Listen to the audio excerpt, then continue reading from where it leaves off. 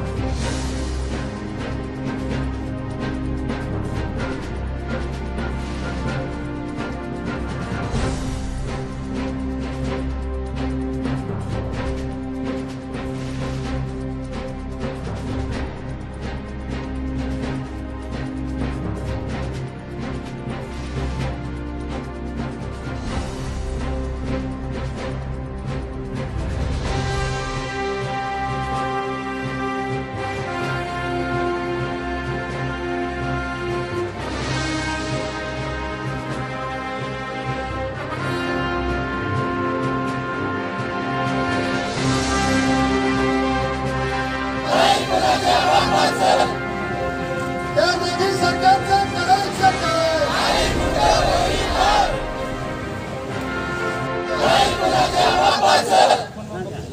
त्या मोदी सरकारचं करायचं काय नाही. आणि फक्त नागपूर नगर महापाल नागपूर जिल्हा परिषदेच्या वगैरे मुदती वाढवून दिल्या आणि निवडणुका घेतल्या नाहीत. मधल्या काळामध्ये जी कायदेशीर प्रक्रिया पूर्ण करायची होती ती काही त्यांनी केली नाही त्याच्यामुळे आजचा हा प्रसंग उद्भवलेला आहे. मराठा आरक्षण तसंच केलेलं आहे. अधिकार नसताना त्यांनी एकशे दोन घटना दुरुस्तीनंतर जो काही निर्णय घेतला तो सुप्रीम कोर्टाने खारिज केल्याचा आपण बघितलेला आहे. अशा परिस्थितीमध्ये केंद्र भाजपची हीच भूमिका म्हणजे भाजपचा हा छुपा अजेंडा आहे की देशातलं पूर्ण आरक्षण संपवण्याची भूमिका आहे. त्याच्यामुळे एक एक पाऊल अशा पद्धतीने भाजपने टाकलेलं आहे की ज्याच्यामुळे देशामधली सामाजिक जी काय आरक्षणं आहेत मागासलेला समाज मग तो मराठा असो ओबीसी असो मागासवर्गीयांचे प्रश्न असो हे सगळे प्रश्न अशा पद्धतीने कायदेशीर गुंतागुंतीने अडकून ठेवलेले आहेत की शेवटच्या मग क्षणाला आरक्षणच ठेवायचं नाही. हा भाजपचा छुपा अजेंडा आज देशामधला आहे. आणि म्हणून आज छत्रपती शाहू महाराजांच्या जयंतीच्या निमित्ताने त्यांनी त्यांच्या काळामध्ये ज्या पद्धतीने सामाजिक प्रश्न हाताळले.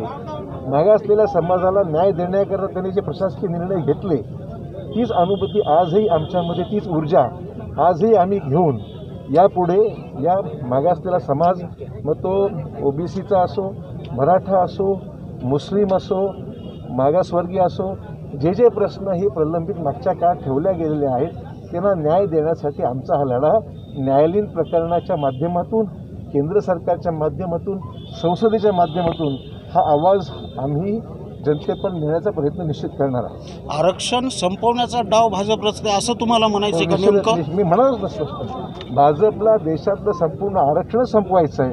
त्या दृष्टिकोनातून वेगवेगळ्या पद्धतीने खोटं बोलून हा सगळा डाव उलटवण्याचा प्रयत्न त्यांचा सुरू आहे. साहेब दुसरा एक प्रश्न आहे. अनिल दे- अनिल देशमुख यांना तरी सूडबुद्धीने अशा पद्धतीने राजकीय विरोधकांना संपवण्याकरता त्या एजन्सीजचा वापर केला जात आहे असं आमचं ठाम मत आहे. शांततेनं आंदोलन करण्याचं आवाहन केले तर जे काही काम तशाच नेहमी चालत आलं आत्तापर्यंत त्यामुळे मला काय त्यावर बोलायचं नाही आहे परंतु आम्ही छत्रपती शाहू शाहू महाराजांसाठी अनुयायी या नात्याने त्यांची शिकवण घेऊनच शांततामय पद्धतीने आमचा आवाज हा बुलंद करून सामान्यांना न्याय देण्याकरता निश्चित प्रयत्न करू.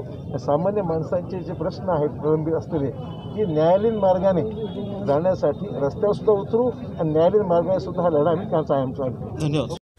ताज्या घडामोडी पाहण्यासाठी राजमुद्रा न्यूज लाईव्हला सबस्क्राईब करा बेल आयकॉन